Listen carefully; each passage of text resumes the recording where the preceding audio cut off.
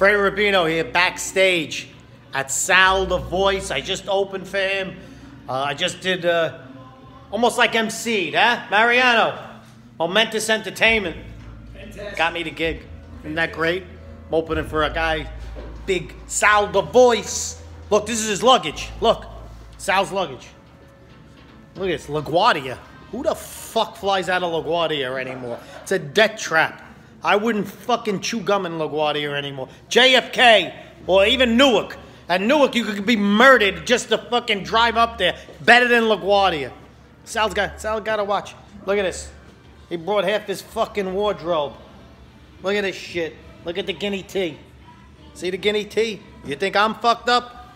This guy's wearing guinea teas too. That's what Italians wear. Here's Sal the Voice's shoes. Look at this.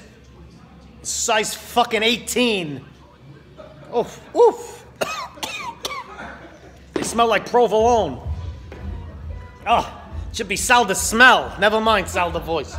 Oh my god. Yeah, you know it. You know it.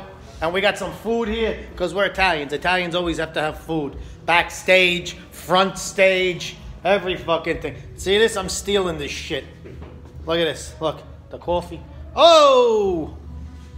Oh, I gotta make a living too. That's all. What? What happened? They hear. They hear me. Keep the fucking voice down. Okay, I gotta go. Freddie Rubino here, backstage. It's out the voice. Love you guys. I'll see you soon. Coming to the Bronx again. We're going to Yankees. We're going to City Island, Florida. I'll see you there. Love you guys.